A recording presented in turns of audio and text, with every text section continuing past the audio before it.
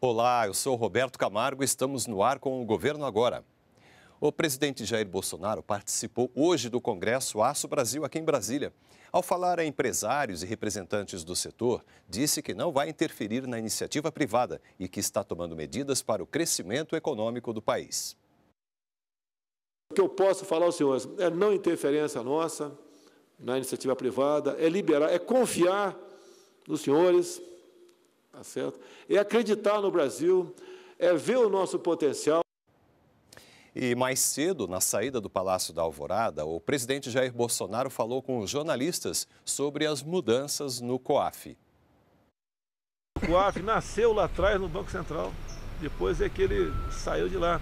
E o pessoal que vai integrar o Banco Central tá, não tem indicação política. Todos eles têm que ser servidores de algum lugar, que seja do Exército, que seja da Caixa Econômica, da Polícia Militar, seja o que for.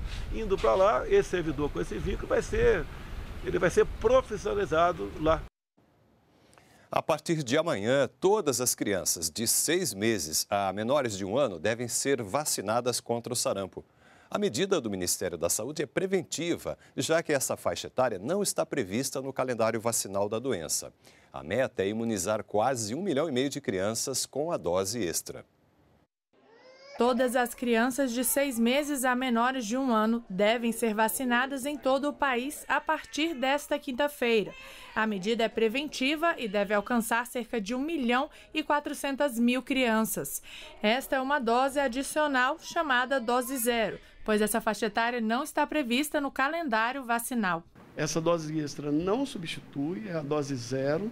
Essa dose extra ela é uma adicional não prevista no calendário e que as mães devem procurar a unidade de saúde para realização e proteção dos seus bebês para que elas possam crescer com saúde. O sarampo é uma doença contagiosa transmitida por um vírus. Nos últimos 90 dias, o Brasil registrou 1.680 casos confirmados em 11 estados.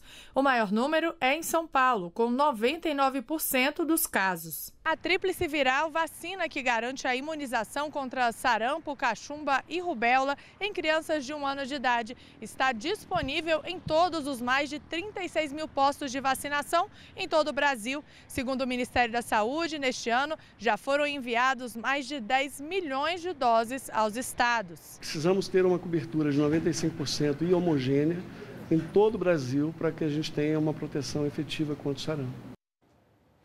O governo agora fica por aqui. Continue nos acompanhando também pelas redes sociais. Nos vemos na próxima edição. Até lá.